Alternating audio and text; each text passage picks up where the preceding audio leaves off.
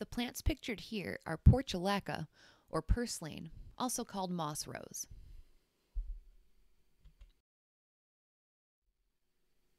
Portulaca is a ground cover when it's grown in the landscape, getting less than a foot tall, but it can spread and fill in an area quite nicely. The form of portulaca is procumbent, meaning that it grows flat on the ground without the stems producing any roots. And it may also be decumbent, which means that the branches grow along the ground and the stems curve up at the tips.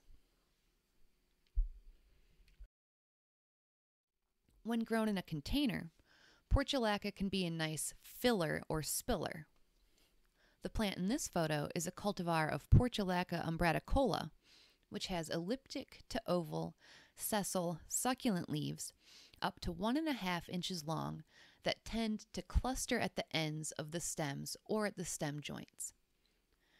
The leaves can be alternate or opposite and will also take on that reddish tinge along the margins uh, when they get in full sun.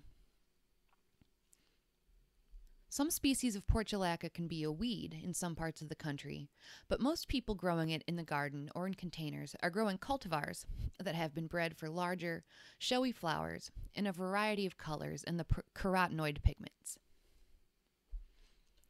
As a side note, this species, Portulaca umbraticola, is often sold under the name of Portulaca oleracea since the two look very similar. Portulaca oleracea grows as a weed in some parts of the U.S. Here we have Portulaca grandiflora, which is popular for its large flowers, as the specific epithet suggests. The growth habit is similar to Portulaca umbraticola, but the leaves are a little smaller, up to an inch long. They're more linear, and they're in whorled clusters, although they may be alternately arranged as well.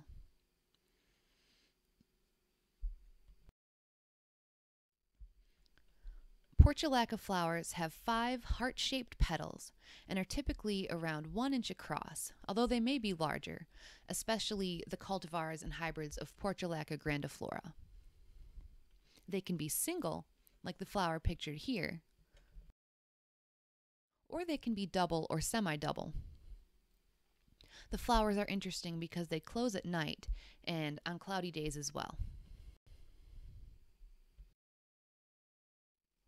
Grow portulaca in full sun or bright direct light and in very well drained soil.